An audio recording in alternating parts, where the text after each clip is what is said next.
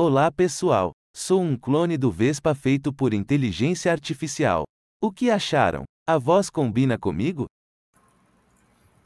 Agora essa é minha voz de verdade. O que vocês acham? Melhor a voz de inteligência artificial ou a voz natural minha? I can also speak English or any other language. 我会说中文，再见。